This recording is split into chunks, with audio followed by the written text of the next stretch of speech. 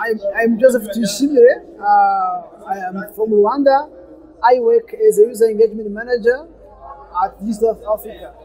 We are here to make life easier uh, to people on the African continent uh, using our observation datasets.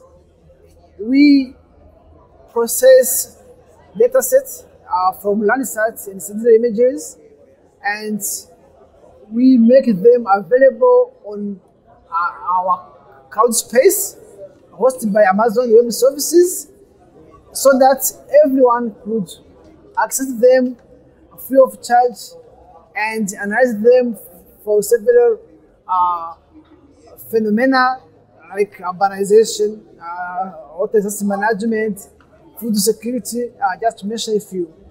Oh, this uh, conference is very important it was a hub uh, for all people involved in geoinformation, from donors, uh, users, even uh, young generation of students exchanging uh, ideas on how the geospatial technology could help to achieve sustainable development goals and improving uh, health of, of people not only on the African continent but in the whole world. So this is a great opportunity for everyone shopping ideas, learning from each others, and also shaping our future plans. Our, the mission is very simple.